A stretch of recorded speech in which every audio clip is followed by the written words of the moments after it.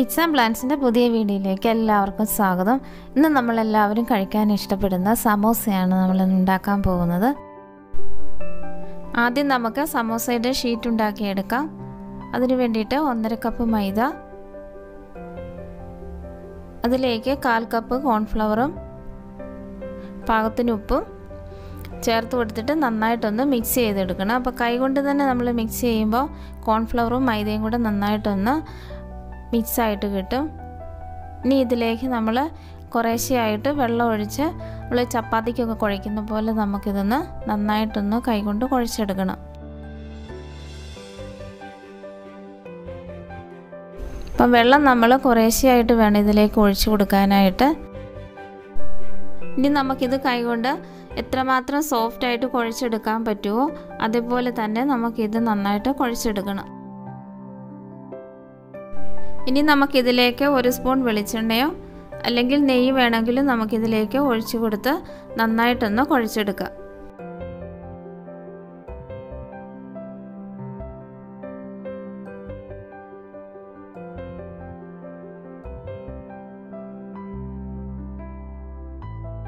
മാവ് നന്നായിട്ട് കുഴച്ചെടുത്തിട്ടുണ്ട്. ഇനി നമുക്കിതൊരു ബോളുകളാക്കി മാറ്റി വയ്ക്കാം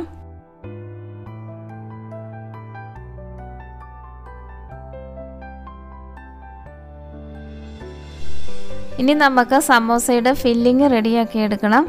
അതിന് വേണ്ടിയിട്ട് ഒരു പാനിൽ നമ്മൾക്ക് കുറച്ച് എണ്ണ ഒഴിച്ചതിന് ശേഷം അരിഞ്ഞു വെച്ചിരിക്കുന്ന രണ്ട് സവോള മൂന്ന് പച്ചമുളക് കരിവേപ്പില ഇത്രയാണ് നമ്മൾ എടുത്തിരിക്കുന്നത്. അത് നമുക്ക് എണ്ണ നന്നായിട്ട് ചൂടായിട്ട് വരുമ്പോൾ ഈ സവോളയും കരിവേപ്പിലയും പച്ചമുളകും കൂടി ഇട്ട് നന്നായിട്ടൊന്ന് വഴറ്റിയെടുക്കണം. ഇനി ഇതിലേക്ക് പാകത്തിന് ഉപ്പും ഒരു സ്പൂൺ കുരുമുളക് പൊടിയും ഒരു സ്പൂൺ മസാലപ്പൊടിയും കാൽ ടീസ്പൂൺ മഞ്ഞൾപ്പൊടിയും കൂടി ഇട്ട് നമുക്കിത് നന്നായിട്ടൊന്ന് മിക്സ് ചെയ്ത് കൊടുക്കാം.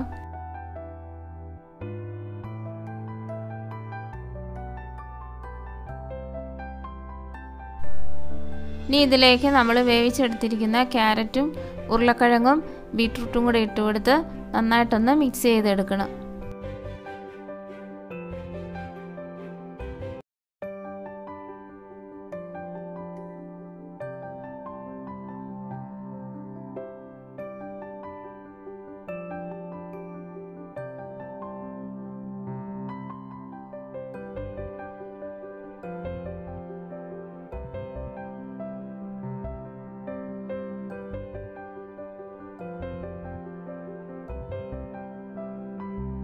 ഇനി ഇതിലേക്ക് നമുക്ക് ആവശ്യമെങ്കിൽ മസാലപ്പൊടിയും അതുപോലെ കുരുമുളക് പൊടിയും കൂടെ ചേർത്ത് കൊടുത്ത് നമുക്കതൊന്നുകൂടെ ഒന്ന് മിക്സ് ചെയ്തെടുക്കാം.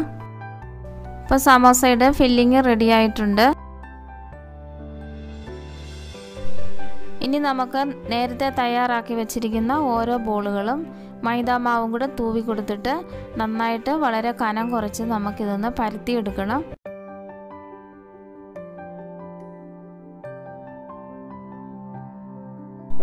ഇപ്പോൾ ഇതുപോലത്തെ രണ്ട് സമോസ ഷീറ്റ് പരത്തിയെടുത്തിട്ടുണ്ട്. ഇനി നമുക്ക് ഒരു സമോസ ഷീറ്റിൽ നന്നായിട്ട് നമുക്ക് എണ്ണയൊന്ന് ഒരു ബ്രഷ് കൊണ്ട് നമുക്കിന്ന് പുരട്ടി കൊടുക്കണം. അതിനുശേഷം നമുക്ക് മറ്റൊരു സമോസ ഷീറ്റും കൂടെ അതിന്റെ മുകളിലേക്ക് വെച്ച് കൊടുത്തിട്ട് വീണ്ടും നമ്മൾ ഈ ചപ്പാത്തിയുടെ റൂൾ ഉപയോഗിച്ച് ഒന്നുകൂടെ ഒന്ന് പരത്തി കൊടുക്കണം.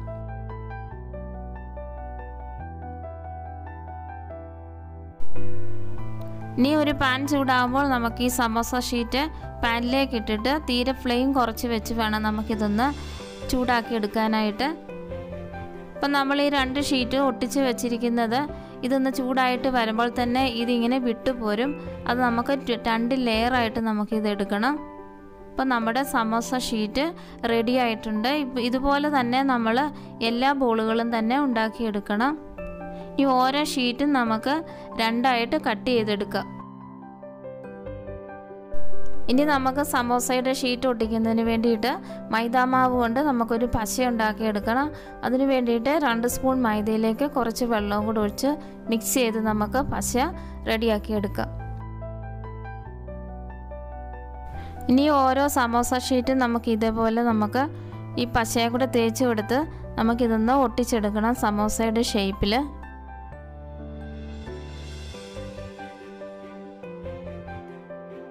ഇനി ഇതിലേക്ക് നമ്മൾ നേരത്തെ തയ്യാറാക്കി വെച്ചിരിക്കുന്ന വെജിറ്റബിൾ ഫില്ലിങ്ങും കൂടെ ഇതിലേക്ക് ഇട്ട് കൊടുത്തിട്ട് നമ്മൾ ആ പശ കൊണ്ട് ഇതിന്റെ ഇതൊന്ന് ഒട്ടിച്ചു കൊടുക്കുക.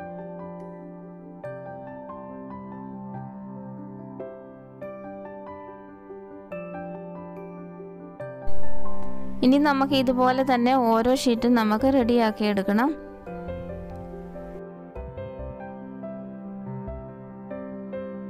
ഇനി നമുക്ക് റെഡിയാക്കി വെച്ചിരിക്കുന്ന ഓരോ സമോസയും നമുക്ക് ഒരു പാൻ ചൂടാകുമ്പോൾ അതിലേക്ക് എണ്ണയും കൂടെ ഒഴിച്ചിട്ട് നമുക്കിത് ഓരോന്നും ഫ്രൈ ചെയ്തെടുക്കാം.